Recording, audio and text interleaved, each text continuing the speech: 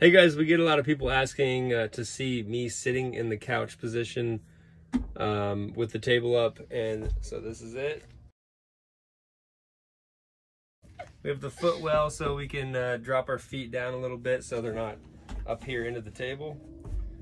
Um, and my head has just enough room basically to, you know, I'm not hitting the roof, especially when I'm sitting up drinking my coffee.